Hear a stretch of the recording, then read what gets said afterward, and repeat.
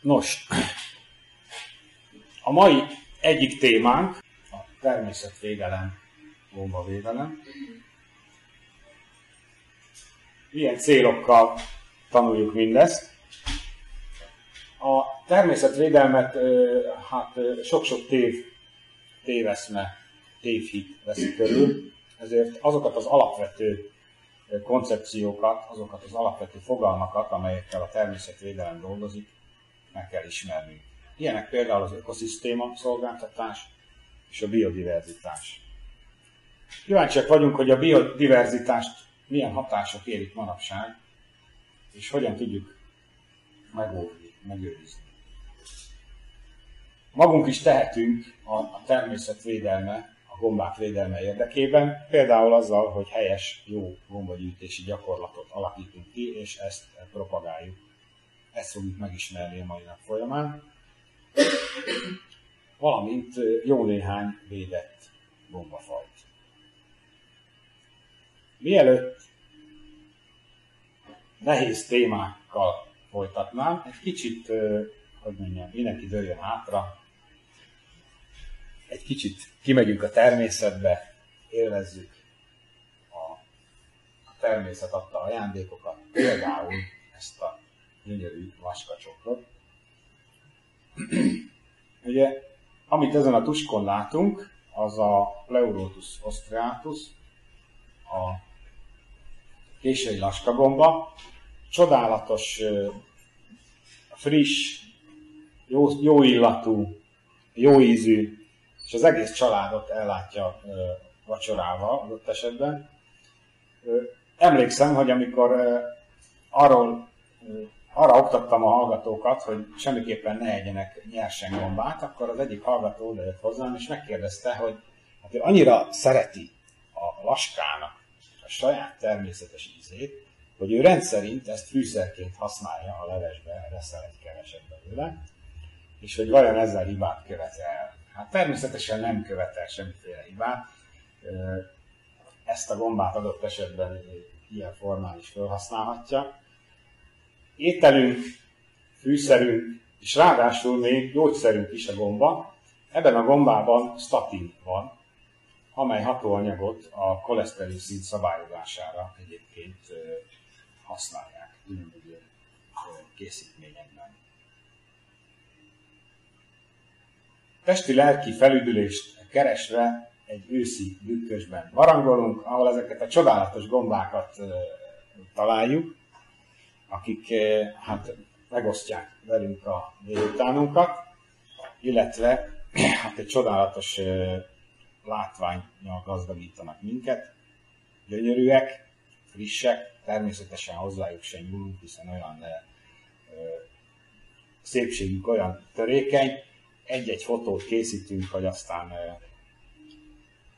ö, azzal távozzunk a, a helyszínről. Ugye a légyölő galócát látjuk itt. Az erdőjárás, a gombagyűjtés az része a mi kultúránknak.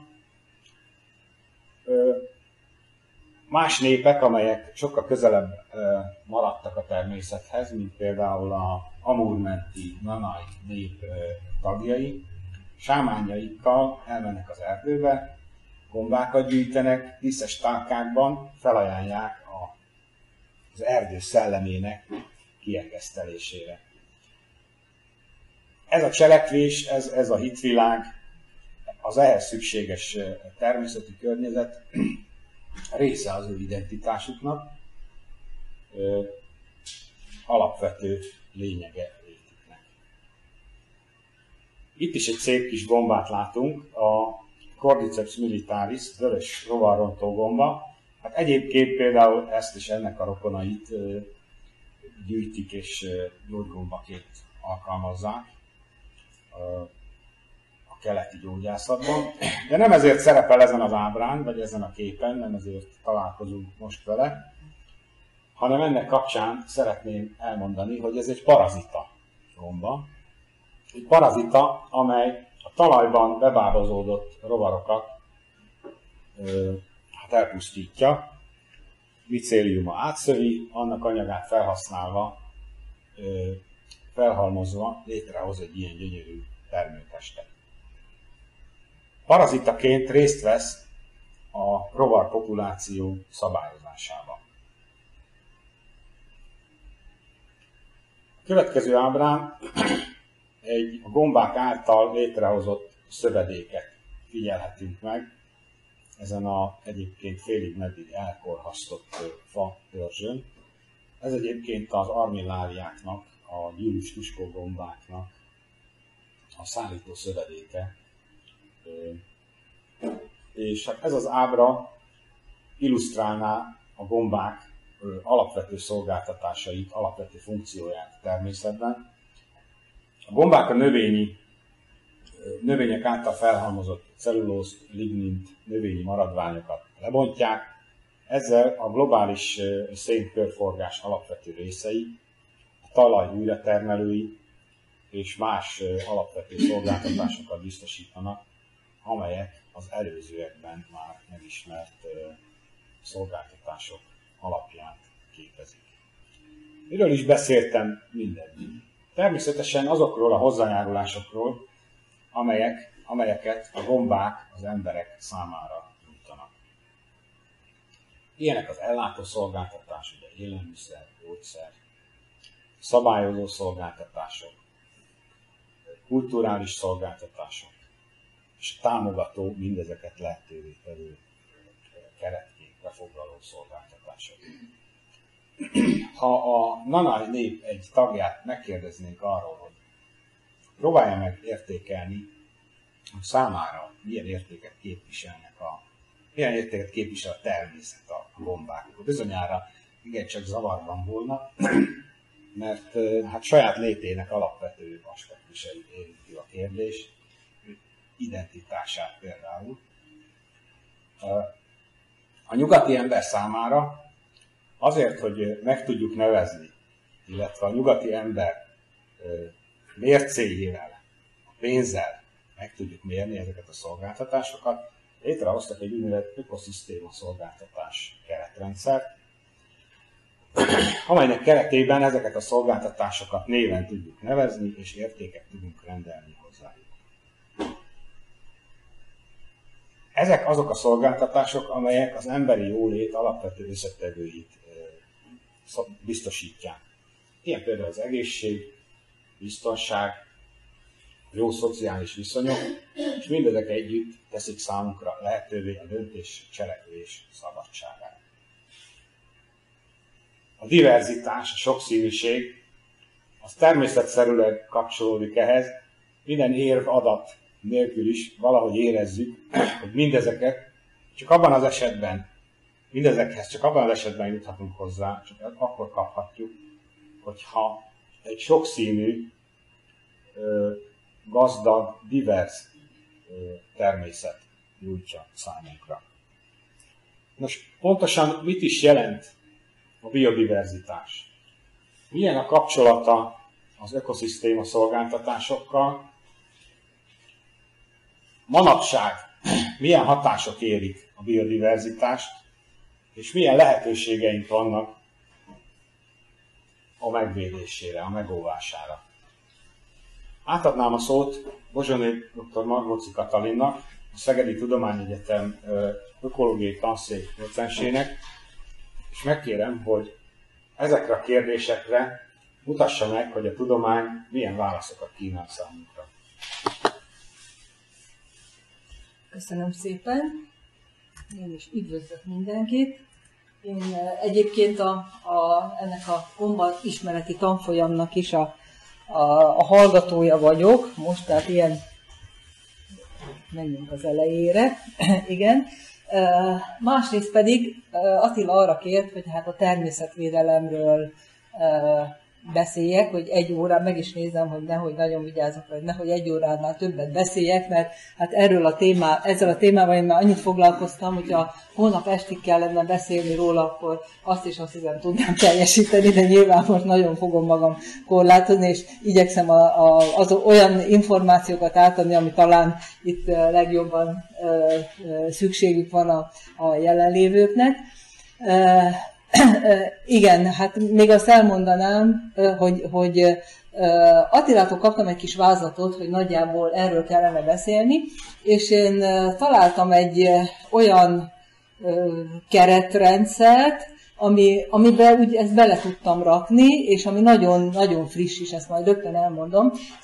Előtte azonban még ezt a kérdőjelet és a felkiáltó jelet szeretném megmagyarázni. Hát a természetvédelem az annak a jelentése az idők folyamán sokat változott. Én magam is ugye 90-es évek óta oktatom a természetvédelmet, de előtte is már érdeklődtem. Nagyon másképp gondolkodtam én is róla, és a világon is nagyon másképp gondolkodtak, nem is ezt a szót használták sokszor rá. És hát magából, ebből a szóból is, ahogy magyarul értjük, föl kell tenni a kérdést, hogy na de hát mi a természet, meg ki véd, meg mitől véd, meg miért véd, hogyan véd. Tehát nagyon sok kérdés fölmerül, Hát a felkiáltó jel kapcsolatban talán azt mondanám el, hogy, hogy korábban, még akár 70-es, 80-as években a természetvédelmet a világ leggyönyörűbb dolgának gondoltam, és hát tényleg nagyon korán úgy gondoltam, hogy én, én ezzel szeretnék foglalkozni. Most pedig azt mondom, hogy én azt szeretném, ha megszűnne a természetvédelem. Persze nem csak úgy megszűnne, mert most ebben a kultúrában, ebben a helyzetben, amiben most vagyunk, nagyon nagy szükség van a természetvédelemre, de sokkal jobb lenne, ha nem lenne rá szükség. Mert, mert akkor úgy működne a világ, úgy működne a kultúránk, ami, ami nem is olyan lehetetlen. Attila is beszélt itt egy természeti népről, sok olyan kultúra van, amelyik képes harmóniában élni a természettel, fenntartható módon, de hát a mi kultúránk nem az, és amíg, amíg nem ilyen, addig nekünk szükség van a természetvédelemre. Na, hát ezt a, a úgynevezett IPBES szervezetnek a 2018 évi, tehát egy nagyon friss jelentését választottam, hogy mindazokat a témákat, amit Attila is javasolt nekem, felfűzem. Ez a bizonyos IPBES, ez a biodiverzitás és ökoszisztéma szolgáltatás kormányközi platform. Itt még megemlítik azt, hogy az úgynevezett IPCC mintájára hozták létre a kormányok. Ennek az a jelentősége, az IPCC, ugye ez a Climate Change, hasonló szervezet, de az a klímaváltozással foglalkozik. És az IPCC-seknek elérték azt, hogy az emberek már tudnak a klímaváltozásról, és sőt, most már megjelent az egyre több helyen hallom, hogy klímaszorongás van. Tehát a, a, az emberek már, már elke, elkezd, tehát valami, valami már történt a társadalomban, és hát a biológusoknak régi vágya, hogy a, a, tudjuk, hogy a biodiverzitás rohamosan és folyamatosan csökken már körülbelül 50 éve, vagy még, még a, gyakorlatilag az ipari forradalom óta, de ettől még valahogy úgy nincsenek megijedve az emberek. Az IP Bestnek az a célja, hát nem az, hogy megjegyenek az emberek, hanem hogy ennek a jelentőségét is a társadalommal jobban, jobban megértessék. Az is érdekes, hogy ugye itt biodiverzitásról és ökoszisztéma szolgáltatásokról van szó. Na hát ennek is van egy története, de talán itt az IP Bestnek a fogalmi kerete vagy világképét szeretném röviden bemutatni. Hol is ezzel, ezzel lehet mutogatni? Nem, nem ezzel lehet mutogatni. Tessék? Ezzel. Ja, igen, meg, megvan. Vagy, vagy itt, nem tudom, mindjárt. E, jó, tehát e, ez egy ilyen elég bonyolult ábra. E, ezt a, ezt a három boxot, boxra hívnám fel a figyelmet. Tehát hogyan is néz, néz ki a világ az IPBES szerint? Mindennek az alapja hát lehet azt mondani nagyon egyszerűen, hogy a természet, de ugyanennek a másféle megfogalmazása is van. Ők nagyon fontosnak tartják a különböző tudásrendszereknek a szerepét. Vagyis a zölden jelölték a tudománynak a megfogalmazását, és a tudomány a természet helyett, ugye a természet az egy olyan köznapi szó, ezért a tudományosan azt mondjuk, hogy biodiverzitás és ökoszisztéma. A biodiverzitás utal a sokféleségére a természetnek, a, a, az ökoszisztéma, az ökoszisztéma kifejezés pedig arra, hogy ez egy rendszer, és minden mindennel kapcsolatban van.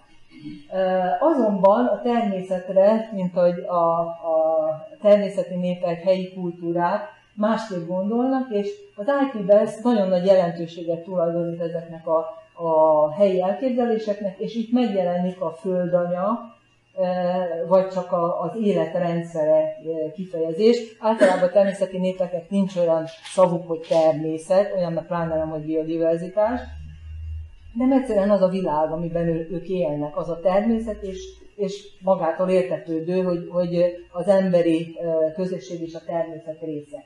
Ide vigyeztették még azt is, hogy ennek, ennek saját értéke is van, tehát független attól, hogy ez most a mai társadalomnak, az emberiségnek, vagy hasznos, nem hasznos, ennek önmagában is értékes. Na most ez különböző, hát e, ugye a tudomány azt mondja, hogy javakat és szolgáltatásokat, erről beszélt Attila nagyon szépen, hogy a, a gombáknak mit köszönhetünk, javakat és szolgáltatásokat nyújt, ez esetleg a, a természetes kultúrát úgy mondják, hogy ajándékokat, a természet ajándékai az ember részére. Legújabban meg elterjedt az a, ez a contribution kifejezés, vagyis a magyarra úgy lehet lefordítani, hogy hozzájárulás. Tehát hogyan járul hozzá a természet mihez? Hát az emberi jól léthez. Human well-being, ez, ez a, ugye a tudományos megfogalmazás, harmóniában, él, harmóniában él, élés a természettel, jó élet, azzal együtt, hogy egyensúlyban és harmóniában vagyunk földanyával. Tehát úgy élünk jól, hogy közben földanyával is jóba vagyunk. Ez a, a őshonos kultúráknak a, a megfogalmazása. És egyszerűen ez a, a fekete fölirat, erre azt mondják, hogy ez úgy összefoglalólag, és itt is ebben a jelentésben ezt használják, a, a jó életminőség. Itt vannak, külön, itt vannak a, a különböző driverek, amit magyarul hatótényezőnek, vagy, vagy mi a másik, másik neve, a, a mozgató rúgónak lehet mondani. Tehát amit az, az emberiség tesz, az valahogy hatással van a földanyára, természetre, ez direkt hatások, természetes driverek is vannak, ugye természetes hatótényezők, és közvetett hatótényezők az embernek a mindenféle intézményrendszere kitalálmánya. Tehát, és az egész egy keretbe van foglalva, tehát ez itt együtt a rendszer, tehát így ez, ezzel lehet jellemezni azt, hogy a, a, a globálisan, tudományosan és a, a, a vezető szakemberek, ezek így gondolkoznak az ember és természet viszonyáról, és hát az is egy cél, hogy minél többen így gondolkozzanak róla. Na most akkor nézzük a biodiverzitás fogalmát egy kicsit tudományosabban. Egyszerű meghatározó a biológiai sokféleség, ezt a gyönyörű képet is a, a, ebből az IPBES jelentésből, vagy IPBES honlapról vettem, és ugye látod, hogy ugye minden benne van, még, még a, a látszólag élettelen sivatagban is van élet, a gerinctelenek, a, a gerincesek, az emlősök, a madarak, és nagyon fontos, hogy itt vannak az emberek. És az embereknek is van diverzitása, biológiai diverzitása van, sőt kulturális diverzitása is van, és az ITBS erre is, erre is figyel. Tehát ugye ezen túl vagyok egyszerű meghatározás. Ha egy ilyen tudományos definíciót szeretnénk adni, akkor azt lehetne mondani, hogy egy adott körön belüli biológiai entitások, biológiai valamik, ez az entitás, ez a valaminek a, a kifejezése, entitások különbözőségének minősége és mértéke, és majd mindjárt megmutatom, hogy ezt matematikailag is lehet, meg lehet számolni. Hát az egész biodiverzitás ugye azt mindenki gondolta, hogy nem lehet csak úgy egyszerűen mérni, a biodiverzitométert még nem találták fel, nem is fogják, de, de valami lehetőségünk van arra, hogy számszerűsítsük a dolgokat. Aztán van itt még mindenféle jelszó, szlogen, koncepció, tudományterület, mindenféle, tehát a, a biodiverzitás, ez a, az idézett Sandvár klímakirodalom, ez 2001-ben megjelent könyvből vettem ezt a mondatot, és hát a 90-es évekre az volt jellemző, hogy a csapból is a biodiverzitás folyt, akkor az volt a természetvédelemnek a fő jelszava, hogy a biodiverzitást kell megvédeni. Ez majd aztán egy kicsit változott.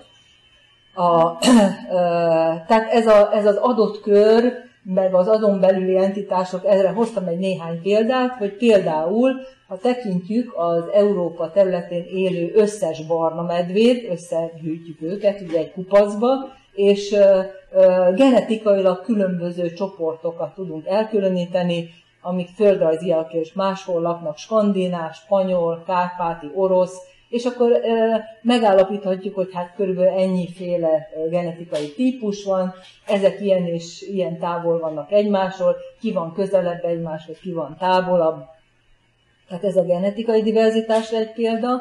A, a második a egy bármilyen terület, most én az ásatlanul csodarétet mondtam, itt meg az összes növény egyedet nézzük, a növény egyedet, sok-sok növény egyedet különböző fajokba lehet sorolni, és ezek lesznek azok a csoportok, amit ugye a körön belül ezeket a csoportokat elkülönítjük, ezeket is hasonlíthatjuk egymásra, megszámolhatjuk, hogy hányan vannak, maguk a csoportok hányan vannak, azon belül az egyedek hányan vannak, miből van több, egyhajú virágból, vagy vitézvirágból, vagy szibériai nősziromból, és akkor már mindjárt számolni is lehet vele. Na de ez a leggyakoribb, amikor a fajszámmal közelítik a biodiverzitást, nagyon gyakori az is, hogy az élőhely típusok. Ugye szeretünk gombászni olyan helyen, ahol sokféle élőhely típus van, akkor sokféle gombát is lehet találni, Például a Kiskunsági Nemzeti Parkban itt felsoroltam élőhely típusokat. Ezt megint csak meg lehet számolni, hát itt ugye nem egyet számot tudunk megállapítani, hanem mondjuk területet. És ha készítünk a Nemzeti Parkról egy, egy térképet, ahol a különböző foltok, a különböző ö, élőhely típusokat jelentik, akkor akár területileg megmérhetjük a, a Kiskunsági Nemzeti Park élőhely diverzitását. Aztán tovább már nem is ragozom, egészen különböző, például a bugaci szürke gulyában a különböző szarvállás típusok szerint is képezhetünk csoportokat, tehát nagyon-nagyon sokféle sokféleség létezik, ne, és nem is csak biológiai diverzitás van, hanem egyéb diverzitások is, de erről most itt nem beszélünk. Na most, a matematikai képleteket is alkottak el, hogy ezt a biodiverzitást ezt, ezt mérni lehessen. Most a kérdés az, hogy tekintsük, hogy ez két, két rétet ábrázol, amin különböző színű virágok vannak, és ennek a diverzitását próbáljuk számszerűsíteni, és azt kell eldönteni, hogy itt most ugyanakkor a diverzitás, vagy az egyiken nagyobb, a másikon kisebb. Ki az, aki azt mondja, hogy a két területen ugyanakkor a diverzitás? Ki az, aki ránéz, és úgy gondolja, hogy ugyanakkor a diverzitás. A többiek úgy gondolják, hogy nem, nem ugyanakkora. Ki az, aki azt mondja, hogy a baloldali ábrán nagyobb a diverzitás? Na igen, aki, aki hát nekik van igazuk, aki, aki elkezd gondolkozni rajta, akkor az azt mondja, megszámoljuk, hát igen, itt is négy faj van, meg ott is négy faj van, akkor ugyanakkor a diverzitás. Aki meg egyáltalán nem gondolkozik rajta, csak úgy ránéz, és azt mondja, hogy ah, mennyivel tarkább ez a baloldali kép, az, az azt fogja mondani. Vagy esetleg aki már hallott arról, hogy a biodiverzitás indexeknél mind a kettő fontos, tehát ezt így lehet megfogalmazni korrekt, korrekt módon, hogy annál nagyobb a biodiverzitás, minél nagyobb az adott körön belüli entitások féleségeinek vagy csoportjainak száma. Persze ez a csoportoknak a, a beosztás, hogy most, most mit veszünk egy csoportba, ez is hát nagyon sok mindentől függ. Hát látjuk, hogy azért ez, ez nem, egy, nem egy annyira fekete-fehér ez a dolog, hál' Istennek. A másik viszont az, hogy minél egyenletesebb a féleségekhez tartozó egyedek gyakoriságának megoszlása, és hát ilyen matematikai indexet kerestek a, a matematikusok, ami mind a kettőre érzékeny. Gyakorisági eloszlás, hogyha mindegyikből nagyjából ugyanannyi van, akkor, akkor egyenletes az eloszlás, ha az egyikből nagyon-nagyon több van, sok van, vagy a domináns, akkor meg egyenletlen az eloszlás. Na hát ezt csak úgy megmutatnám, hogy a Shannon diverzitás egy, ez egy információ elméleti függvény, és ki lehet számolni, itt is akár itt a, a dia alapján is megszámoljuk, hogy itt most volt négy fajunk, az egyik képen minden egyes fajból vagy színből ugyanannyi, négy volt, a másikon meg lehet számolni, hány piros volt, hány fekete, hány sárga, hány kék, ezt összeírjuk, kiszámoljuk ezt az összes egyednek hányad része tartozik az egyes csoportokba, és ebből, ez egy számomra egy ilyen titokzatos dolog, hogy na most akkor ezt kiszámoltad ezt az arányt, akkor vegyed mindegyiknek a logaritmusát, és szorozd meg vele. Ráadásul mindegy, hogy, hogy milyen alapú logaritmust veszünk. Na, innentől már én se nagyon látom a dolgot, de elhiszem a matematikusoknak, hogy ez így működik. Ez a podania meglepődés mérték, ez azt jelenti, hogy egyszer egy olyan, nagyon régen egy olyan előadás hallottam, amik ezt a képletet magyarázta, és ez történetesen egy botanikus gyökerű emberke volt, és azt mondja, hogy, hogy azért használják logaritmust, mert az annál nagyobb, minél ritkább az a csoport. És ez a, amikor a botanikus megy a réten, és egy ritka növényt talál, akkor fölsikít, hogy jaj, de meglepődik, jaj, de megörül neki, és, és, és hát ezzel súlyozzuk, ezzel súlyozzuk a, a, a, na minden ebben nem megyek bele, mert ez én se értek, csak jelezni akarom, hogy van lehetőség meg is számolni. A leggyakrabban hivatkozott elemek a biodiverzitásnál az ökológiai diverzitás, itt az élőhely diverzitásról, a populációk diverzitásáról beszéltünk, taxonómiai diverzitás, ez ugye nagyon erősen a, a, a fajszintű meghatározás és a faj fölötti, esetleg alatti rendszertani egységek alapján tehát valahogy így képezzük a csoportokat, és van a populáció, a populáció az mindenütt egy ilyen kitüntetett egység, ez az azonos fajú, egy élőhelyen élő egy, egy, egyedeket tartjuk általában populációnak, és hát még alatta is van a genetikai diverzitás. Na, most ennyi volt még ilyen tankönyvi adat a biodiverzitásról, és most térjünk vissza ennek a, az IP West nevű szervezetnek a, az úgynevezett kulcsüzeneteihez.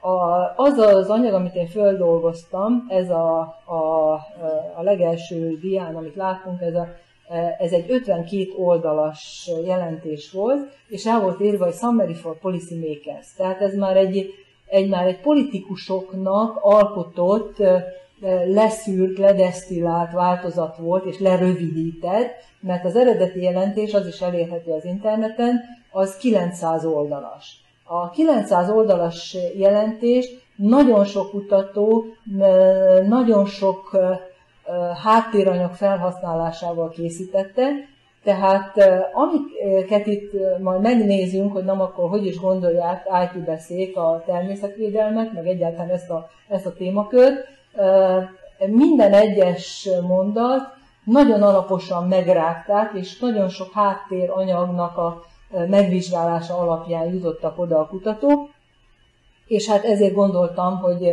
érdemes most ezzel foglalkozni. Bár néha megmondom őszintén, úgy tűnik, meg, meg addig vizsgálták a háttéranyagot, ami tulajdonképpen egy ilyen triviális dolog jött ki belőle, de hát az megerősíti azt, hogy ez igaz.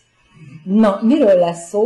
A, először az első részben arról ö, ö, azt értékelik, hogy miért értékes eszköz, miért fontos számunkra ez a természet, a természet, lefordítható biodiverzitásnak, és a hozzájárulás, vagy ökoszisztéma szolgáltatás az emberi életminőséghez értékes eszköz a vizsgált térségben, Európában és Közép-Ázsiában. Hát mindjárt megmutatom a térképét, hogy miért pont itt. A, a B-részben azt mutatják be, hogy ebben a, a régióban unikális, tehát itt Európában és Közép-Ázsiában más, mint Afrikában, Amerikában, Ázsia másik részén, de veszélyeztetett, veszélyeztetett, mert rohamosan csökken, és nagyon sok minden veszélyeztető. Mi veszélyezteti azt a C részben, a változások, vagyis a negatív változás csökkenés mozgatórúgóiról beszélnek, majd pedig egy ilyen jövőkutatást végeznek, hogy milyen lehetséges jövőképek vannak, és ennek milyen hatása lehet a biodiverzitásra és a természet hozzájárulására. Aztán persze arról is beszélnek, hogy mit tehet a társadalom ennek érdekében. Milyen ígéretes kormányzási lehetőségek vannak. Látható, hogy mindenütt nagyon próbálnak pozitívan, optimistán hozzáállni a dologhoz, bár nem tudják tagadni, hogy, hogy nagyon nehéz a helyzet. Hát itt van ez a régió, tulajdonképpen négy részre osztották fel az egész világot, és hát számunkra most talán elég furcsa ez a felosztás, hiszen Kelet-Európának egész Oroszországot tekintik, ott Ázsiának az a része az, az a Közép-Ázsia, Kína ugye már nincs benne, és látható, hogy Közép-Európában mi is benne vagyunk, valami Nyugat-Európa. Tehát ez a, ez a négy rész tartozik ebbe a régióba, és úgy gondolták, hogy a, a globális, tehát négy része osztották a világot magyarul. Na most, tehát hogyan is magyarázzák meg nekünk, hogy milyen fontos nekünk a természet. Attila is nagyon szépen elmondta a gombák kapcsán, hogy élelmiszer, gyógyszer, testi-lelki felüdülés, sőt, még arról is beszélt, hogy a helyi lakosság számára az ő, az ő tudásuk, szokásaik, a természethez kapcsolódó, fűződő kapcsolatuk, ezek elősegítik az ő identitásuk megőrzését, már pedig nagyon fontos, hogy ezek a kultúrák megmaradjanak, és az identitásuk megmaradjon. Aztán még hangsúlyozzák az édesvíz megőrzésnek, az élőhely fenntartásnak, klímareguláció, levegőtisztításnak a szerepét, tehát ezeket emelik ki. Hát a második pont természetesen az, hogy a biodiverzitás rohamosan csökken, és ez veszélyezteti ezen hozzájárulások megmaradását. Na most ezt itt már ebben a rövidített változatban nem hoznak rá különösebb példákat, ezt, ezt olyan teljesen magától értetődőnek veszik, hogyha egy természetes közösség degradálódik, csökken a biodiverzitása, akkor nem fogja tudni ugyanezt a szolgáltatást nyújtani nekünk. Ha eltűnnek a gombák mondjuk, akkor nem, nem tudunk, akkor nem tudunk gombászni.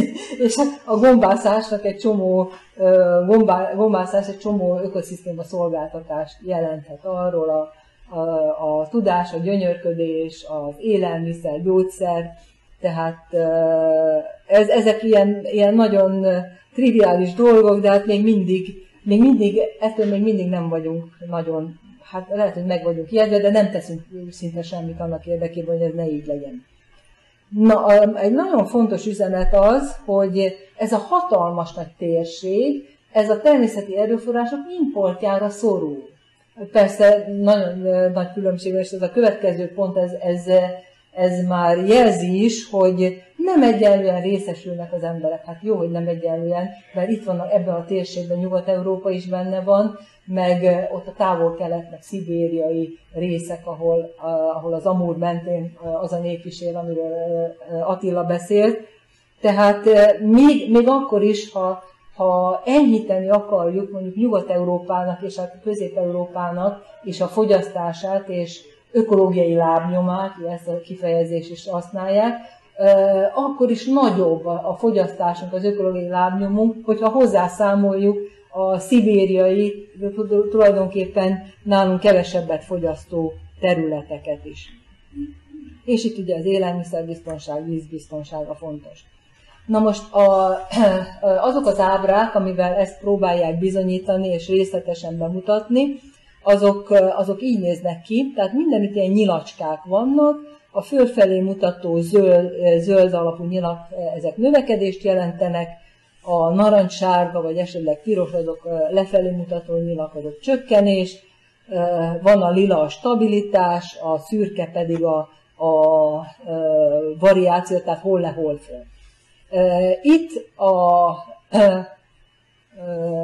a, sorok, a sorokban az úgynevezett ökoszisztéma szolgáltatások, ez a reguláló szabályzó szolgáltatások, ezek az anyagi szolgáltatások, és a nem materiális, vagyis kulturális szolgáltatások csoportjaiban föl vannak sorolva a legfontosabb szolgáltatások, és hát látjuk, hogy itt a szabályozó szolgáltatásokban éppen alig van olyan, ahol, ahol zöld nyilak is vannak, ez a, a levegőminőség szabályozása, vagy a klíma szabályozásban imittam ott vannak zöld nyilak, Egyetlen egy sor van, ahol mindenütt fölfelé mutató zöld nyilak vannak, ez az élelmiszer. Hát ebben benne van, ebben az értékekben benne van az intenzív mezőgazdaságnak a termelése is, és úgy néz hogy egyre több élelmiszer termelünk, és hát egyre többet pazarlunk is, különösen a, a térségnek a nyugati részén. Na hát a, a függőlegesen pedig ez, a, ez az ECA jelenti ezt az Európa és Közép-Ázsia, ezt az összesített területet, majd pedig külön Nyugat-Európára, Közép-Európába, Kelet-Európára és Közép-Ázsiára megvan a külön értékelése. Megint mondanám, hogy ezeket a, a nyinacskákat se csak úgy rajzolták be érzésre, hanem nagyon-nagyon sok adat van mögötte. Na most, a biodiverzitás a régióban unikális, de veszélyeztetett. Ezt mivel bizonyítják? Hát a jó öreg természetvédelmi világszövetség, vagy IUCN adataihoz nyúlnak. A Természetvédelmi Világszövetség a 20. század közepe óta rengeteg fajt értékel a világban, és besorolja őket veszélyeztetettség szerint. Itt, itt van ugye az összes faj, ez a legnagyobb csoport, amit nem értékeltek. Van olyan, próbáltak értékelni, de nem sikerült, mert nincs elég adat róla. Aztán amit sikerült, azt ebbe a három nagy csoportba besorolták, van, amelyik már kihalt, vagy esetleg csak kultúrában, tehát botanikus kertben, állatkertben maradt meg. Ez a legsúlyosabb, ez a veszélyeztetett kategória. Ennek további három alkategóriája van, és a, a, vannak olyan fajok is, amit, amit ugye nem találtak veszélyeztetetnek, vagyis é, úgy érzik, hogy ez már veszélyeztetett, de még nem lehet bizonyítani, tehát még az adatok nem mutatják. Na erre az egész Európa és Közép-Ázsiában, tehát nem az összes fajt értékelték, mert hát az IUCN se, az IUCN értékeléséből leválogatták az itt előforduló fajokat, és azt találták, hogy az összes fajnak 13%-a veszélyeztetett, ha azokat az úgynevezett endémikus fajokat nézzük, akik csak itt élnek, tehát nem élnek se Afrikában, se Amerikában, se Ázsia többi részén, akkor ugye nagyobb ez az alány, akkor már 28 százalék, és a szöveg szerűen pedig azt emelték ki, hogy a, ez ugye a fajokra, a fajokra vonatkozik, de az élőhelyeknek a degradálódását is lehetne nézni. Például 1970 óta a térségben a vizes élőhelyek 50%-os csökkenést mutattak. Ez, ez egy óriási nagy arány. A csak itt élő, vagyis az endémikus fajok 28%-a veszélyeztetett, a mohák 50%-a, az édesvízi halak 37%-a, csigák 45%-a, edényes növények 33%-a, kétértek 23%-a, tehát itt pontosan számszerűen ki van mutatva, hogy melyek azok a fajok, amik veszélyeztetett, Hát ezen belül is lehetne, hogy a három e, súlyossági fokozat közül mibe tartoznak. Hát szomorúan kell mondanom, hogy gombákat nem találtam. Ezt az egész 52 oldalas anyagban e, beírtam a keresőbe, hogy mushroom, hát nem volt benne, hát nem találtam. Beírtam a, e, beírtam a 900 oldalas jelentésbe is, hogy mushroom, és ott már e, sok helyen volt szó a gombákról, Például ezt onnan vettem a 900 oldalas jelentésből, ezt az ábrát. Itt a, mint ökoszisztéma szolgáltatás, vagy a hozzájárulás az emberi jól léthez, ezt ábrázolják az Európa Unióban. Az első képen azt lehet látni, hogy a vadászható fajoknak a fajgazdagsága milyen Európa Unióban, a középen pedig a az ehető gombafajoknak a fajgazdagsága. Hát itt látható, hogy hová kell elmenni gombászni, hát, hát Finnországba. Finnországba érdemes, Finnországba, Svédországba, de hát itt Olaszország, Pireneusokba is nagyon érdemes. És uh, itt azt mondja a jel, hogy, hogy ott, ahol sötétkék, ott 16-nál több gombafaj van. Erre én egy másik helyen megtalálom a jelentésben, Törökország ugye nincs ezen a képen, mert nem EU, Satszolja meg valaki, hogy Törökországban hány ehető gombafaj él. Ki, ki mondja azt, hogy 50? Ki, mondja azt, hogy több, mint 50? Ki mondja azt, hogy több, mint 1000?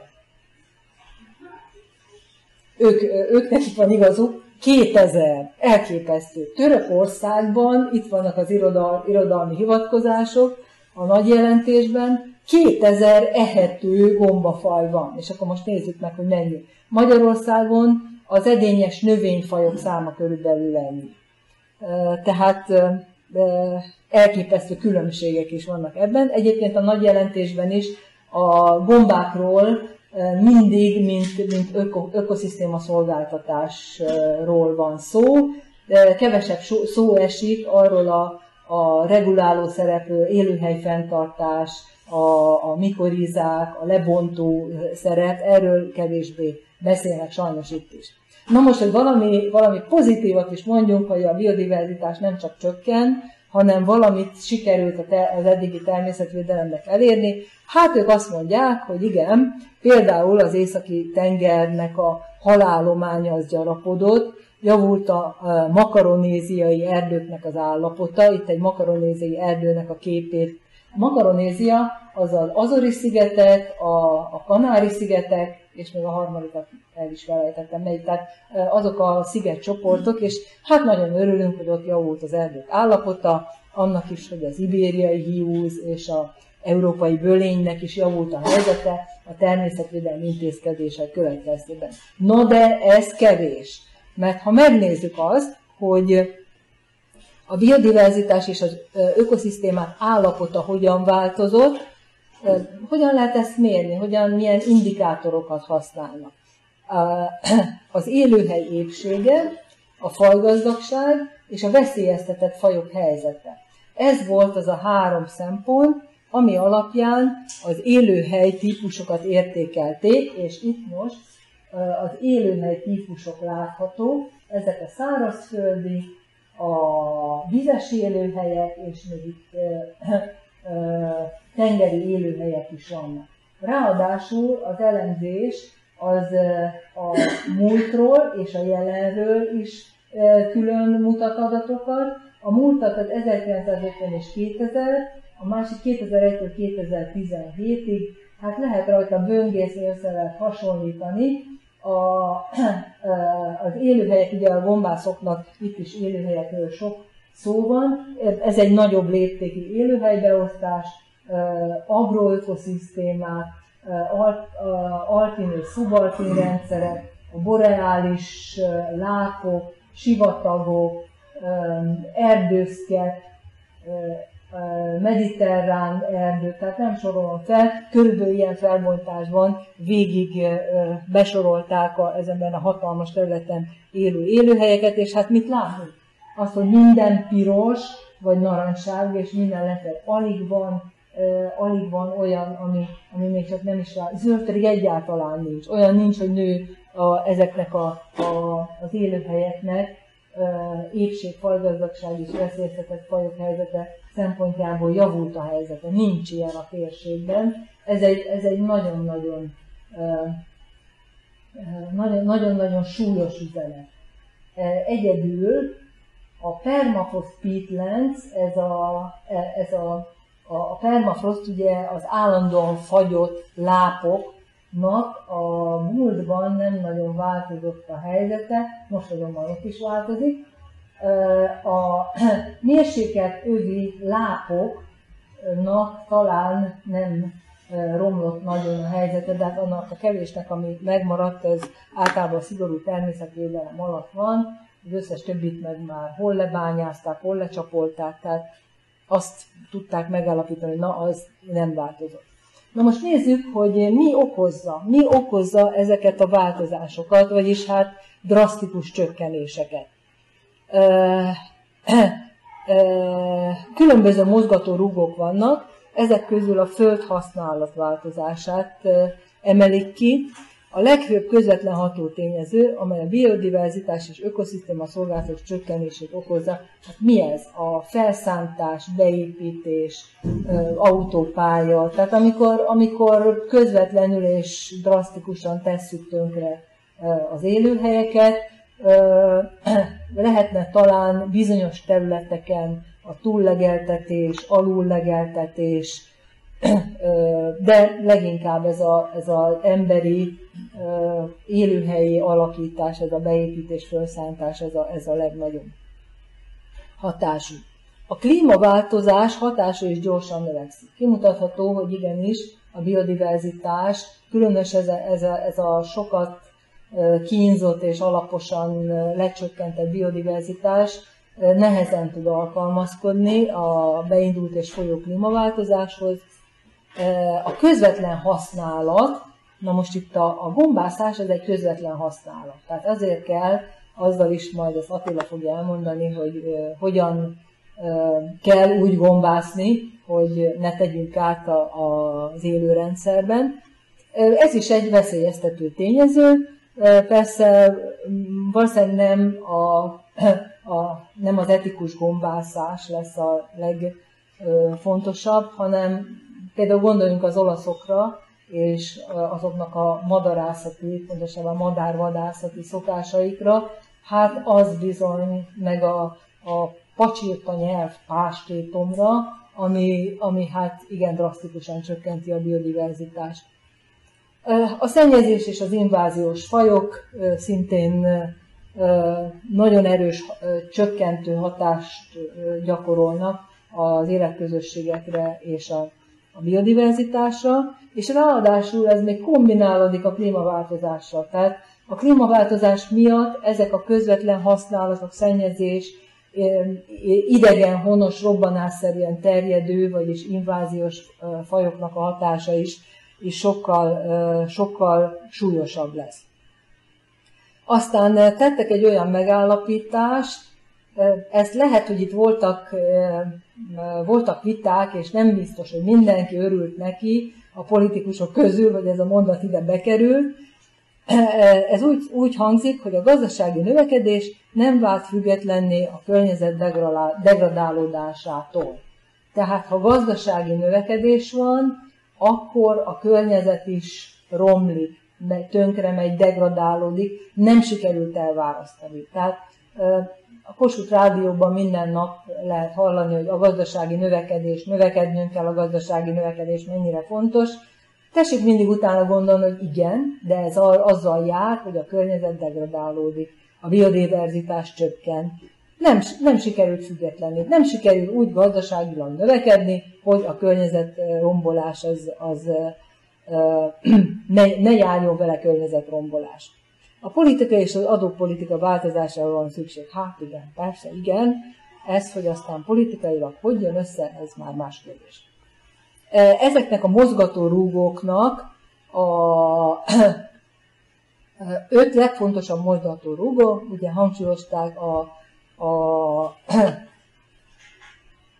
az emberi terület használat változása, ez a felszántás beépítés, a klímaváltozás, az inváziós fajok, a szennyezés és a közvetlen használat, tehát vadászat, gyűjtögetés, Különböző élőhelytípusok, megint hasonló módon nagy léptékben különböző élőhelytípusok, a régiónak a különböző részei, és itt nincs is ilyen összefoglaló, ami az egész hatalmas régióra van, hanem, hanem ez régiónként melyik területen hol, megint csak ránézünk, mindenütt a erősen, növeke, erősen növekedett vagy növekedett ennek a bizonyos mozgató rúgónak a, a hatása, vagyis hát egyre erősebben hat.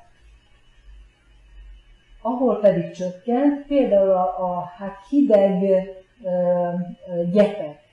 A, a hideg gyepek, hát gondolok én, nem néztem ugyan utána, de valószínűleg ilyen havasi gyepek, tundrák, ezek, ezekre gondolnak, a, a terület használat itt már csökken. Hát valószínűleg itt már nem szorultunk rá annyira, hogy ezeken a, a abszolút gazdasági szempontból nem értékes helyeken itt még további élőhely használatokat létesítsünk. Hát Közép-Ázsiában ez még nem, ez a csökkenés még nem következett be, de hát egy egészen picike kis változás, Nyugat-Európában pedig mi történt? A, ja igen, a mérsékeltővi és a, a boreális erdőknél az erdészet Nyugat-Európában úgy néz, úgy néz ki, hogy eredményeket ért el, tehát a, a, a, az extrakció, vagyis a fahasználat, itt valószínűleg a fahasználat, fahasználat és az erdei termékek használata, ez valamennyire csökkent. Tehát a Nyugat-Európában egyedül már az erdőknek a nyaggatása már nem akkora e, probléma. Na most a jövő. A jövő kutatást ezt különböző szenáriók fel, felállításával szokták bemutatni. Ezek a szenáriók, ez azt jelenti, hogy a jövőkutatók kitalálták, hogy, hogy mi az, ami, milyen változások várhatók, milyen változások képzelhetők el a, a jövőben. És optimista és pessimista szenáriók egyaránt vannak, és hát itt van egy olyan, olyan teljesen triviális megállapítás, hogy ha a hatótényezők nem, nem változnak, vagyis az a az a szenárió jön be, hogy business as usual, vagyis nincs változás, mindent ugyanúgy csinálunk, mint eddig, akkor bizony 2030-ra nem lehet megvalósítani a fenntartható fejlődés céljait. Nem fog csökkenni a biodiverzitás, nem, nem áll meg a környezet degradálódása. És azok a szcenáriók, amelyek a természeti hozzájárulások kiegyensúlyozását célozzák, vagy kiegyensúlyozás hát inkább az intenzív mezőgazdaság csökken, kicsit kevesebb élelmet termeljünk, de maradjon már meg valami a természetes élőhelyekből, és ez jelent egy ilyen kiegyensúlyozást. És az értékek sokféleségét nézzünk már, hogy kulturális szolgáltatást is nyújt a természet, meg a, például a, a talajnak az élőlényei, a talajképződés, és reguláló hatásuk is van. Hát figyeljünk már, ha erre is sikerül jobban odafigyelni, ez az értékek sokféleségét tartalmazza, akkor nagyobb valószínűséggel közelítik a fenntarthatóság. Hát igen, szóval ezt, ezt könnyű kitalálni, de mint említem, itt rengeteg sok háttér adat alapján állapították meg ezt. Aztán a másik, az már egy kicsit, a, hogy mit is kéne tenni, mit is kéne tenni, erre felé mutat. A folyamatos tanulás és tanítás, nevelés a tudás megosztás és a részvételi döntéshozás hosszú távú társadalmi változásokat okoznak. Tehát ebben benne van az is, hogy meg kell változni a gondolkodásunknak, a szemléletünknek. A, most még ugye nehezen váratjuk el, hogy a, az iskolákban mindenütt a helyes szemléletet oktassák, mert még a tanárokat se sikerült olyan tanárokat képezni, akik, tehát nagyon nehéz ez a változás, és és nagyon sok társadalmi, politikai mozgás ellene megy ezeknek a változásoknak. És ez lenne a leghatékonyabb módja a fenntartható jövő megközelítésének, és itt jelentem, hogy a 90-es években még azt gondoltuk, hogy a természetvédelemben és a biodiverzitás megőrzésben a biológusok a legfontosabb szakemberek. Most már tudjuk, hogy ez egy, ez egy sokkal inkább egy súlyos társadalmi probléma, és a társadalomat kell valahogy abba az irányba terelni, hogy pozitív változás legyen. Na, most itt belefér még a hat különböző szcenárió, itt még azt is írják, hogy ezeknek a szcenárióknak archetípusuk, vagy az ilyen alaptípusuk van, és ezt elemezték a ökoszisztéma szolgáltatások, vagy a, a természeti hozzájárulások, ezek ugye a szabályzó szolgáltatások, az anyagi szolgáltatások, a nem anyagi vagy kulturális szolgáltatások, és egyáltalán a jó életminőség az melyik szenárió esetén mit fog hozni. Megszámoztam a szenáriókat, és itt érdemes volt magyarul is leírni, hogy körülbelül mit is jelentenek ezek. Hát az első talán a, a, a legjobban megérthető, ez folytatódik a jelenlegi és a múltbeli trend. Tehát nem tanulunk a, a, az eddig, nem hallgatunk senkire, csináljuk azt tovább, ahogy, eh, ahogy van. Elég sok a szürke kocka ebben, ez az, hogy, hogy nincs nem lehet tudni, hogy most mi fog történni. Például érdekes módon azt mondták, hogy, hogy mondjuk a, szennyezés milyen, milyen irányba fog menni. Hát nem írták oda, hogy feltétlenül növekedni fog, illetve hát rosszabbodik a Ja, igen, mivel ez szabályozott szolgáltatás, itt de pollinás, nem pollis, nem pollinás. elnéztem, elnéztem, ez a, a pollináció, ez a megporzás. A megporzás ugye fontos, az egyik legfontosabb ökoszisztéma szolgáltatásnak tekintik a, a növény, növények, rovarok és egyéb fajok általi megporzását. Erről már egy külön egész nagy jelentés készült. Ez az első globális jelentés az IPBES-ben. Tehát a megporzást nem tudják, hogy hogy fog alakulni, sőt, még a klímaregulációt sem. Hát nem nézzük végig mindegyiket, esetleg otthon ugye mindenki meg fogja kapni ezt a PPT-t, majd lehet nézegetni, és az eredeti anyagnak is utána lehet böngészni. De, de hát azt látjuk, hogy a, ha a business as usual, vagyis folytatódik az, ami eddig volt, akkor semmiféle javulásra nem számíthatunk. A gazdasági optimizmus, ez azt jelenti, hogy hogy egyre nagyobb gazdaság, a gazdasági növekedés, egyre több pénzünk lesz, és akkor esetleg a pénzünket néhol jóra is lehet használni, de ez egy olyan világkép, ahol a, a, a gazdasági növekedés, a piaci hatótényezőknek az érvényesülése, és a, bocsánat, itt egy puskát is fogok használni, mert külön kiírtam magamnak a szenáriókkal kapcsolatban. Igen, és itt viszont tehát teljesen a szabad piac érvényesül ebben a szenárióban, semmiféle szabályzás, tehát az államoknak az ilyen szabályzó szerepe az csökken. Hát itt egy-két helyen azért van, van zöld, de nem sok van. A harmadik a regionális verseny. Az azt jelenti, hogy egyre érese, élesebb lesz az egyes országok, régiók közti verseny, ezáltal egyre távolodnak egymással, a gazdasági különbségek egyre nagyobbak lesznek, a gazdagok egyre gazdagabbak, szegények egyre szegényebbek. Ez aztán elindult, elindít mindenféle terrorizmus, migráció, bűnözésnek a, a növekedésével jár ez a regionális verseny. Hát ez három olyan szenárió, ami hát nagyon valószínű, és mind a kettőnek van, megvannak a jelei a mai világban, de hát egyik se pozitív a természeti hozzájárulás szempontjából.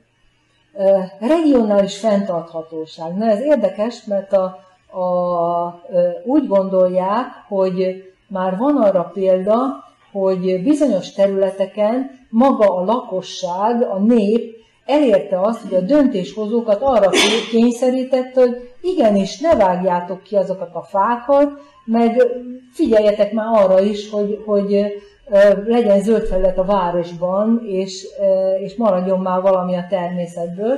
Tehát ha a lakosság a döntéshozókat erre rávette bizonyos részeken, akkor, akkor az jó, és itt már viszonylag a, négyes szenáriónál viszonylag sok a, a felfelé mutató zöldnyi, tehát javul a természet hozzájárulása, viszont itt nincs nemzetközi kooperáció. Tehát nemzetközi kooperációt azt itt még nem számolnak vele. A globális fenntarthatóság az majdnem ugyanez, itt regionális kooperáció van, itt hát egyetlen negatívunként azt említik, hogy ez egy kemény központi szabályzással jár szerintük. Úgy tudják elképzelni ezt a globális fenntarthatóságot. A, a növekvő egyenlőtlenség ott, ott nagyon sok, nagyon sok a szürke kocka, ott nagyon sok mindenről nem tudtak, de valami olyan elképzelés van e hogy egy egészen szűk elit lesz, ahol a, az erőforrások koncentrálódnak, tehát nekik lesz lehetőség bármit is tenni, és akkor esetleg néha jót is fognak tenni. Néhol ö, olyan, hát igen, egyetlen egy jó, a, a, az élelmiszer mennyiségnél van egy, van egy jó, tehát esetleg zöld technológiába is befektetnek. Na hát látható, hogy, hogy hát ilyen a jövő kutatás, kérem szépen. A, a nyilván nagyon megrágott, meg elgondolkoztak azon, hogy milyen is lehet a jövő.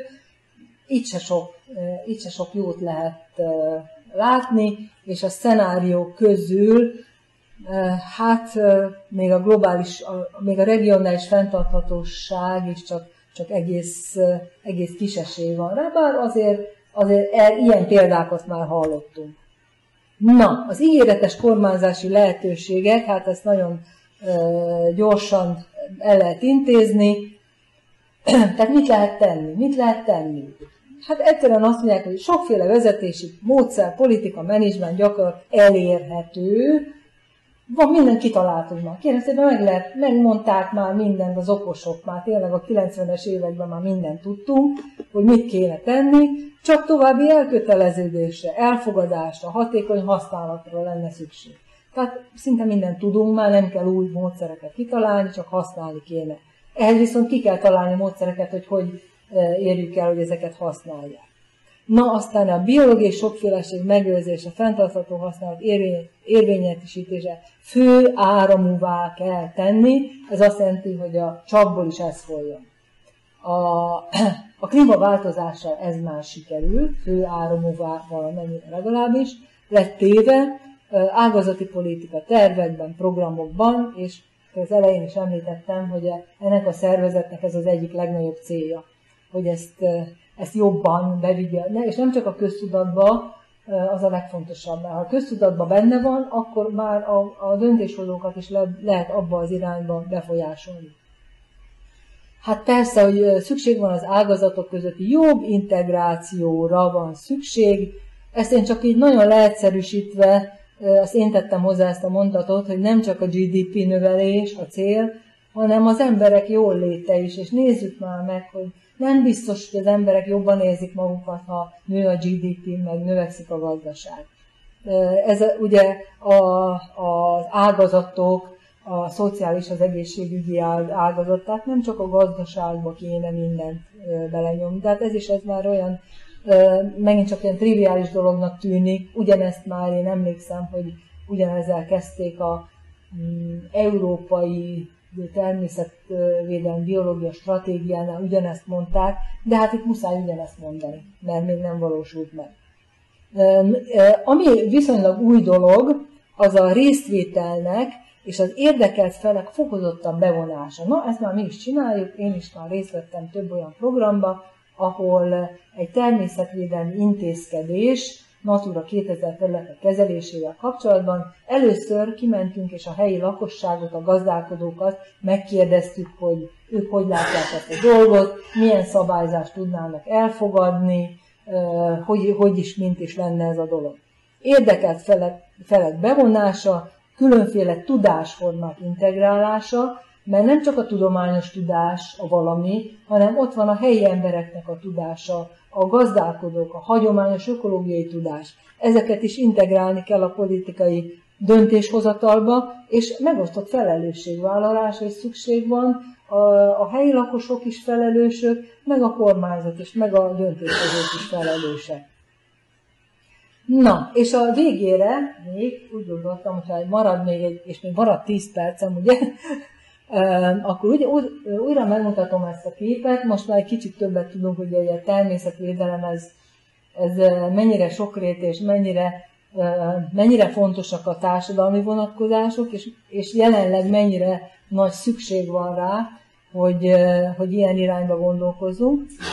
Na most a képről, ez a, ezt a gyönyörű, nem gyönyörű, színes, vadvirágos tarkalétet, ezt a Cserebékényi pusztán fotóztam, ahol a Kiskunsági Nemzeti Park megbízásából egy felmérést végeztünk el, és hát az az érdekesebben az a három növény, amit föl lehet ismerni, az a szép piros, vagy a mogyorós ledne, aztán van a cickafalk, a fehér cickafalk, meg a sárga tejoltógalaj, egy kis ecsetpázsit is látszik. Hát ez egyik se védett növény, sőt, a magyaros lednek az egy kifejezetten gyomnövénynek van tekintve, de hát milyen szép így ez a, ez a puszta. És az volt a, a tapasztalatunk, hogy hát igen, ez a puszta, ez, ez ilyen botanikai szempontból, hát hogy úgy mondjam, nem egy nagy durranás, egy-két védett növényt azért találtunk rajta, de, de a Nemzeti Parknak a része, tehát a legmagasabb szintű védettséget élvezi. A Nemzeti Park most éppen egy ilyen vízkormányzás, rekonstrukciót tervez, tehát a régi vízellátást vissza akarják hozni, tehát jobb állapotba akarják hozni ezeket a területeket. Ezek a területek nagyon sokat szenvedtek már, ezt szántották, alul legeltették, minden történt már ezekkel, de még mindig azért van valami, amit, amit érdemes rajtuk védeni. Például itt van ez az őzlábgalóca, ami nagyon örültem neki, hogy egy védett gombát is találtam a területen most ősszel, és hát annyi nagyon szép volt a gomba, elárulom, hogy nagyon büdös is volt. Nagyon büdös is volt, állítólag ehető, de de ennek nagyon rossz szaga volt. A, utána néztem, mert er, lehet, hogy Attila majd említeni fog, hogy honnan lehet megtudni, hogy egy gombafaj védett vagy nem védett.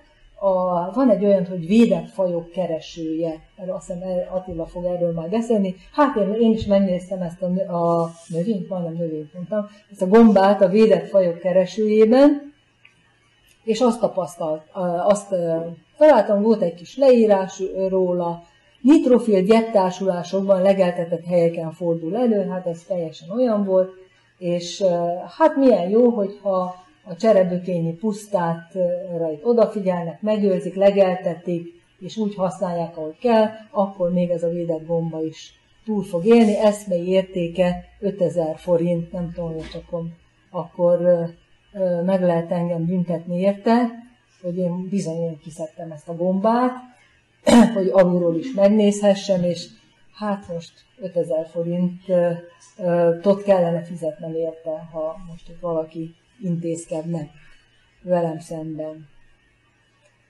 Na hát akkor köszönöm szépen a figyelmet.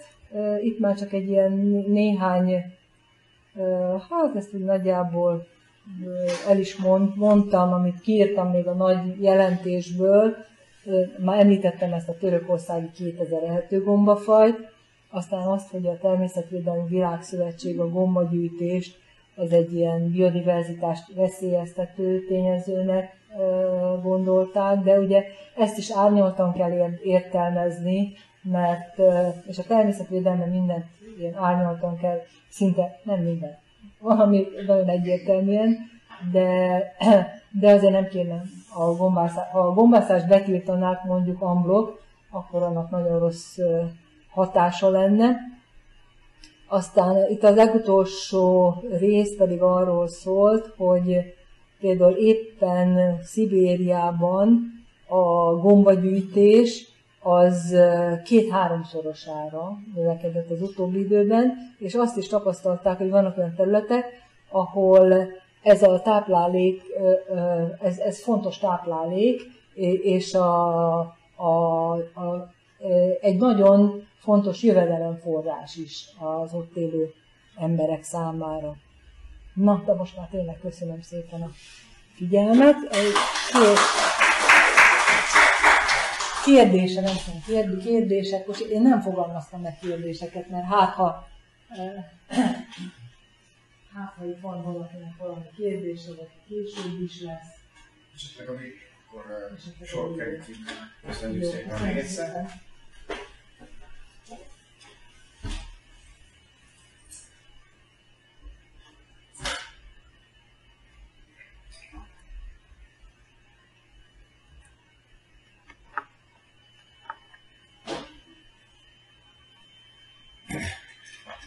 Ha megengedik, akkor ez kékkel van szedve a hallgatók számára, mondom, hogy ez ilyen kiegészítő anyag, ez nem szerepel majd a vizsgán. A gombavédelem helyzetéről említenék néhány adatot. Már el is hangzottak ezzel kapcsolatban dolgok, és azt, azt kiegészítve. Ugye az IUCN, a, a Nemzetközi Természetvédelmi Szervezet különböző fajokat besorolja. Erre van egy, van egy guideline, ami szerint ezt a besorolást el lehet végezni. Intenzív kutatás előzi meg ezt a besorolást, amely kitér a, a, a faj populációinak elterjedésére,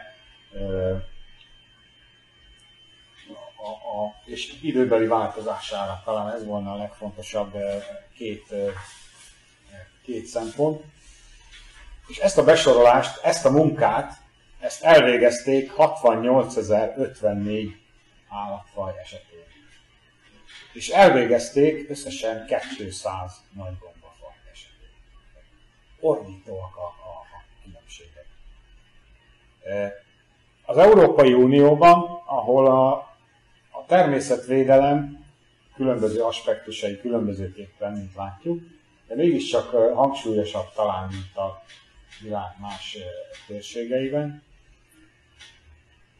A nagygomba faj előfordulási adatok gyűjtését mindössze 14 országban végzik rendszeresen és, és elérhető módon. Ugye szintén az Európai Unióhoz kötődik a Natura, Natura 2000 program, ami, amire szintén visszautalnék. A Natura 2000 az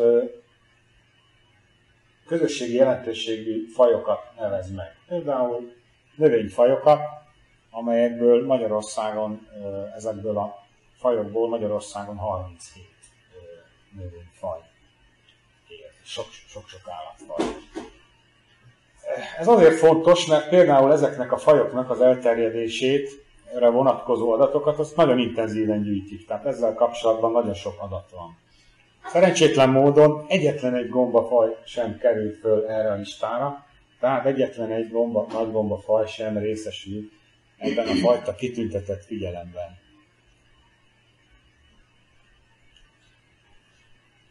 Úgyhogy hát bőven van mit tenni a nagy gombafajok védelme érdekében, és hát ennek kapcsán szeretném némiképp szerénytelenül megemlíteni a Szegedi Gombász Egyesületet, amely azzal a célral jött létre, hogy a természet védelmét, különösen a nagybombák védelmét elősegítse. Egy, egy kis induló szervezet, amelyet lelkes gombászok alapítottak ezzel a célral, mit képes tenni ezen a területen? Mit, milyen cselekvést tud felmutatni? Hát, például mi is gyűjtünk diverzitás adatokat. Ugye ez, ahogy említettem, igencsak egy hiányos terület, kevesen végzik, kevés adat van. Ezen a területen mi igyekszünk előrelépni. Akár képzeljék ezt úgy, hogy ugye együtt elmegyünk terepgyakorlatra, ott összegyűjtjük a különböző gombafajokat a különböző élőhelyekről, és ezekről aztán készül egy lista, amit hát például a hallgatók megkapnak azért, hogy tanulhassák, és aztán pedig a természetvédelmi hatóságok szintén megkapják, hogy ezt felhasználhassák. Védett gomba előfordulások bejelentése. Ugye ezekben a listákban védett gombák is előfordulnak időnként, és ez természetesen eljut a helyi természetőrhöz, hogy, hogy ez az adat számára meglegyen. Ő az, aki a, a gomba, illetve hát elsősorban az élőhely védelme érdekében képes cselekedni. Egy konkrét példát is mondja, legutóbb például találtunk vaskapereszkét ásathalnon, és a, és a helyi illetékes természetőr számára ezt az adatot közöltük. Névvel, címmel, Ugye ismeretterjesztést végzünk, ugye elhangzott, hogy fontos a szemlélet formálása, hát ez ide tartozik. A gombákkal kapcsolatos adatokhoz, információkhoz, magasabb szintű tudáshoz időnként nagyon nehéz hozzájutni. Annak érdekében, hogy ezt elérhetővé, könnyebben elérhetővé tegyük közemberek és kutatók számára is, így könyvtárat építünk, ami elérhető minden érdeklődő számára.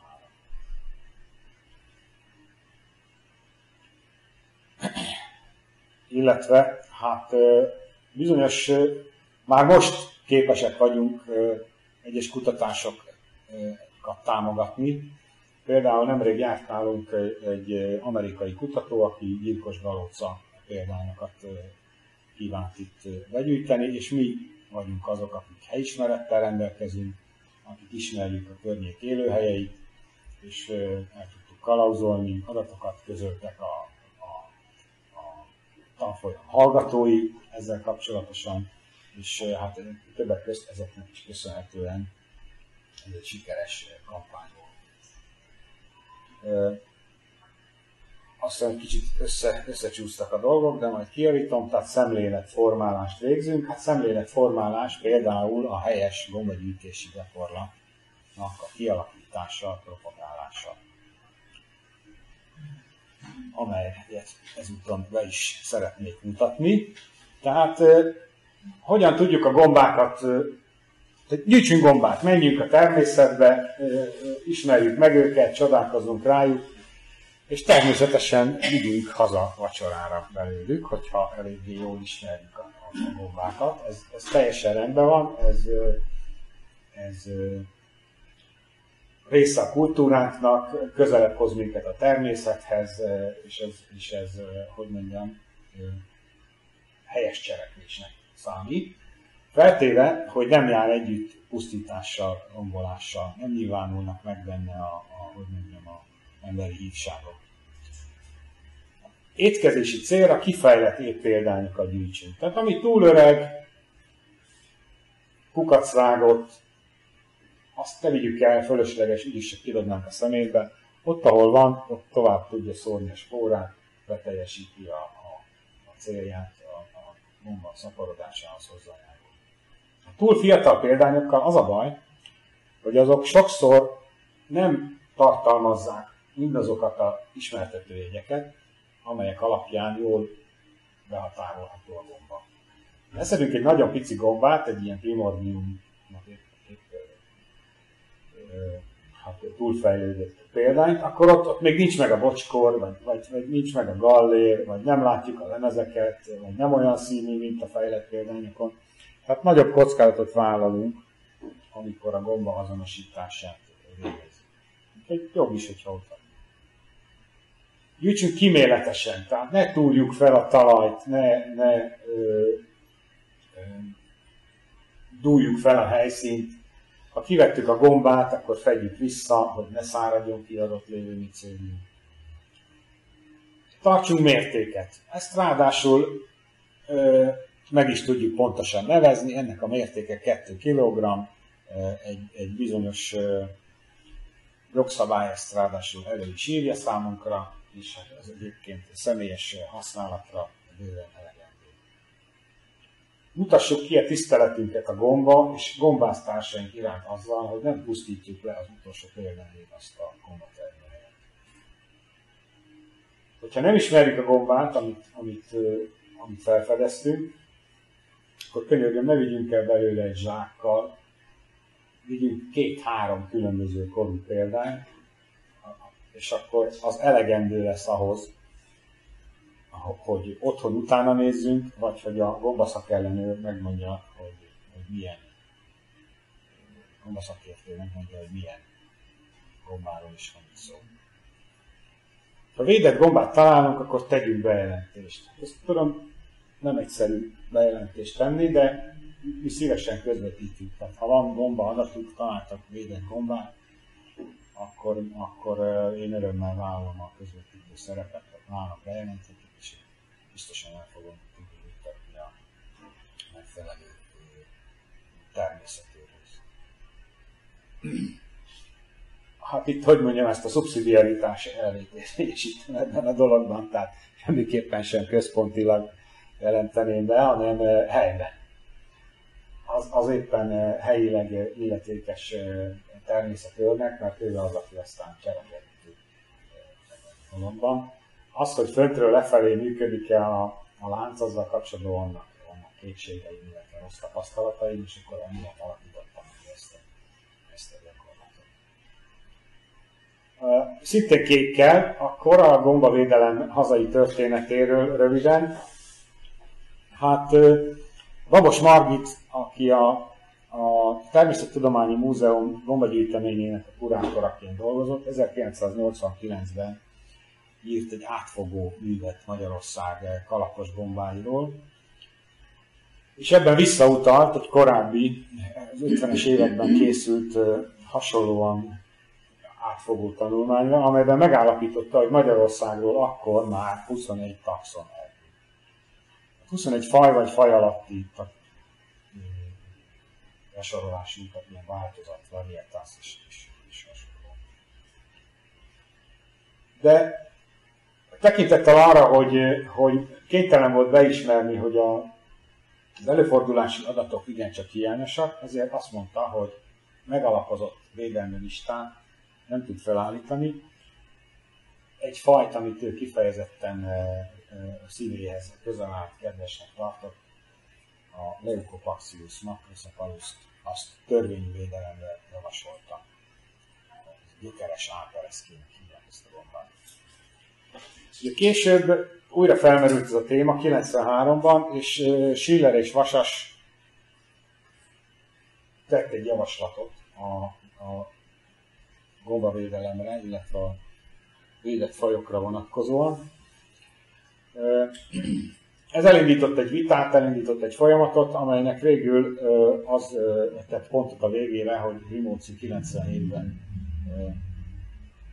közölte a magyarországi nagybombák vörös könyvét, tehát egy listát a különböző státuszú nagybombafajokról. És hát egyébként ő is nehezményezte, hogy amikor, amikor természetvédelemről van szó, akkor a bombák szóba sem kerülnek. Ez a lista ez 99-ben vált véglegessé, bár tulajdonképpen most sem tekintik hivatalos listának, legalábbis nemzetközi keretek között ezt nem, nem jegyzik. Később 2005-ben született egy rendelet, majd 2013-ban ezt a rendeletet módosították, és ezzel együtt, vagy így együtt összesen 58 nagygomba faj védett Magyarországon, amiből néhányat be fogjuk mutatni a továbbiakban. Gombafajok védelmét elsősorban az élőhelyek védelmén keresztül lehet megvalósítani. Természetesen vannak ö, ö, speciális ö, hogy mondjam, kezdeményezések, illetve kísérletek, Cryo Game Bank létrehozására, a Természettudományi Múzeumban és a többi. De elsősorban az volna a cél, hogy a gombákat az élőhelyükkel együtt. És akkor ekkor szokott elhangozni az a mondat, hogy de Magyarországon mégsem soha egyetlen területet sem tettek védett gombák miatt. Mi nem teljesen igaz, mert egy, 1975-ben nagy dolog van, a szenesi legelőtt gombák miatt tették védetté, igaz, hogy akkor azt azért, mert úgy gondolták, hogy ennek gazdasági jelentősége van, hogy az ott lévő csiperkék továbbra is teremtenek. És akkor bemutatnék néhány védett gombafajt, ezek nagy részével a környékünkön is találkozhatunk. Hát ilyen például az álszömörcső, ami hát első ránézésre talán még gombának sem tűnik, annyira különleges élőlényről van itt szó. Ja, képzeljük el a, a tengerparti szélfutta homokdűnéket, ahol az ott lévő vegetációt a szél betemeti, és az eltemetett növényi anyagból táplálkozva ez a gomba először egy ilyen kocsonyás tojás burkot hoz létre, majd az felreped, és egy ilyen kórószerű képlet emelkedik a magasba, amelynek a tetején egy félgömb alakú, ilyen kúpszerű barna szálakkal, illetve porral fedett képlet, ez maga a termőtest. Ott teremnek a spórák. Az aztán szórja a spóráit, és egy ilyen pergamen kórószerű képletként nagyon sokáig a helyszínen megtalálható. Ez a gombafaj ez nálunk előfordul, nálunk gyakori, van egy ilyen sajátos erdőművelési módszer, ami azon alapul, hogy a tarvágás után egy mélyszántást végeznek, és a, a, ezelőtt a tuskókat is ugye kitolják egy ilyen vakhátra, egy talajjal be is fedik, és ezeken a vakhátakon rendszerint előfordul az álszömörcsök, ritka, védett kumbafaj. Köszönöm szépen a figyelmet, és akkor szívesen vennénk a kérdéseket, illetve begyűjtöttünk előzetesen néhány úgynevezett gyakori kérdést, amit a korábbi években eh, kaptunk ezen témák kapcsán, illetve interneten volt egy ilyen nap, ahol, ahol szintén eh, lehetett kérdéseket föltenni. Van egy ilyen kérdés, amivel találkoztunk, hogy nem, nem túl nagy-e a jogszabályban védett fajok száma, ki, ki igazodik ki ezen. Hát saját véleményemet tudom elmondani. Azt gondolom, hogy azzal, hogy a gombák közül 58 védett Magyarországon, ráadásul azok többsége ilyen szimbolikus, jól felismerhető, karakteres faj, mint a császárgalóca, az olasz gomba, vagy, vagy, vagy sorolhatnám, azzal mi jól jártunk. Hogyha lenne 500 védett gombafaj, az, az, az, semmi, semmi, semmi hasznát nem vennénk. Azt, azzal nem tudnánk megjelenni, azt nem tudnánk közvetíteni a, a, az átlagos, hogy mondjam, erdőjáró felé. Azzal, hogy van néhány jól megfogható, jól körülírható, jól felismerhető védett gombafajunk, azzal mi, én azt gondolom, hogy sokkal jobban jártunk, mint, mint ahogy ahhoz képest, mint ahogy mondjuk 600 éve Kati esetleg van, hozzászólsz ehhez a kérdéshez? A, a számosságot illetően van-e? van-e Teljesen egyetétek, gondolom, hogy az is szempont volt, hogy amit gyakran nagy tömegbe gyűjtenek, és lehet, hogy a császárban valamit Igen, így van. Így azt azért, azért mert, a, mondjuk a, a legkép között van olyan, hogy a, a nappali pálmaszem az például nem olyan nagyon veszélyeztetett, viszont annyira szép, meg annyira gyakran szem elő kerül, hogy, hogy tehát, a lepegyűjtemény készítést ezt egy kicsit gátolják, és ezért ilyen, ilyen gyakori ugyan, de szép lepkefajokat ezt védeti nyilvánította. Gondolom. Azon kívül van valami, ami ilyen szempontból lett védetté nyilvánítva? A, a nagy mennyiségű gyűjtés? Igen, igen. Igen, az eredeti anyagban, a 89-es anyagban, ott a a gyökeres álpereszkének a védelmét azért, azért ajánlja a babos, mert hogy nagy termetű, és a feltehetőleg ugye étkezésre csábító fajról van szó. Minden mellett egyébként ritkán fordul elő.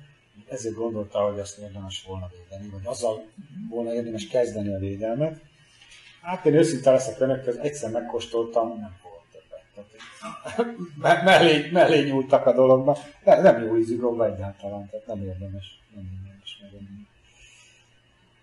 Hogyan viszonyul egymáshoz a vörös lista és a jogszabályi védelem? Hát két különböző történetről van szó. A vörös lista az a szakembereknek szól. Tehát a szakemberek besorolják az egyes fajokat azokba a kategóriába, amik teljesen vagy hozzávetőlegesen megfelelnek az IUCN, tehát a Nemzetközi Szervezet kategóriáinak. És azt például arra használják, hogy egyes területeket mondjuk ezáltal értékeljenek, összehasonlítsanak egymással, és a többi. A jogszabályi védelem az viszont más, az mindenkire vonatkozik. Ezeknek a fajoknak a, a, a birtoklása, a tartása, a gyűjtése az, az jogszabályba ütköző és büntetéssel jár, és a többi, és a többi. Tehát ez két, két különböző történet. És még egyszer hangsúlyoznám, én azt gondolom, hogy mi jól jártunk azzal, hogy van egy nagy vörös lista és egy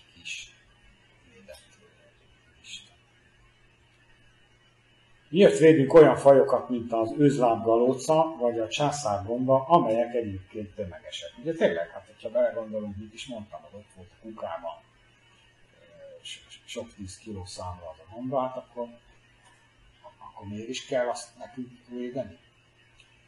Mondjuk akkor az őzlámgalóc esetén kezdjük ezzel. Az őzlámgalócáról azt tudjuk, hogy ez egy sztyeppfaj, ugye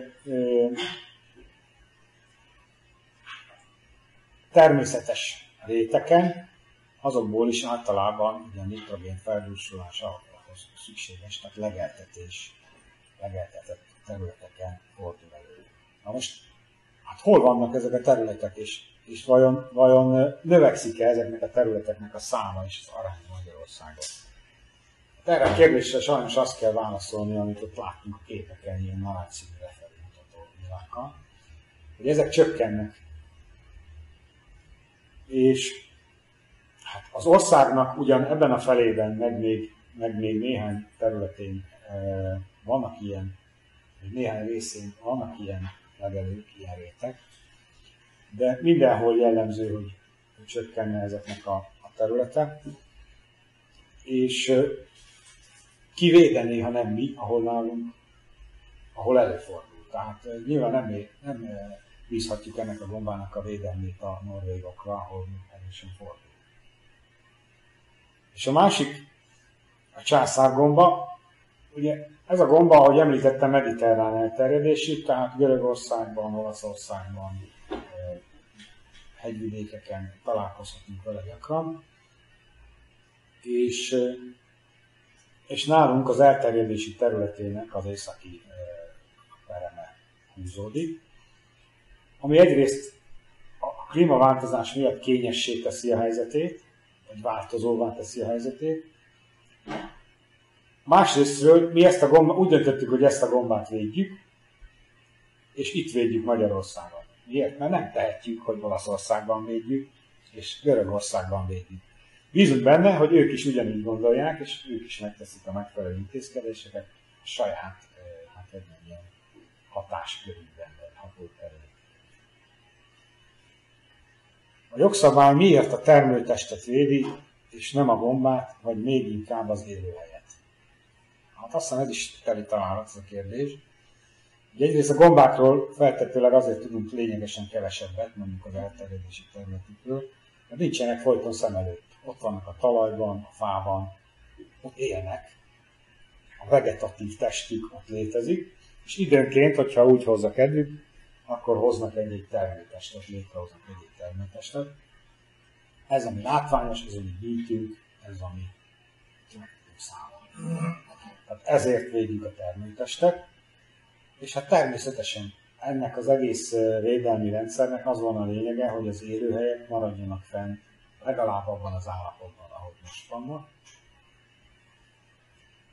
Ehhez viszont azt kell, hogy tudjunk a gombákról, tehát legyenek adatok, gyűjtsük az adatokat, és aztán eljuttassuk ahhoz a, ahhoz a hatósághoz, aki képes intézkedni az élőhely Honnan tudjuk, hogy melyik gomba védett? Igen, ezt erre már kaptunk választ, tehát beírjuk a keresőbe, hogy védett a fajok keresője, és akkor a, az állami természetvédelem honlapjának a megfelelő oldalát kapni, és ott tudjuk szűrni, akkor például, hogy akkor csak a bazidiumos gombákat szeretnénk rakni a listában.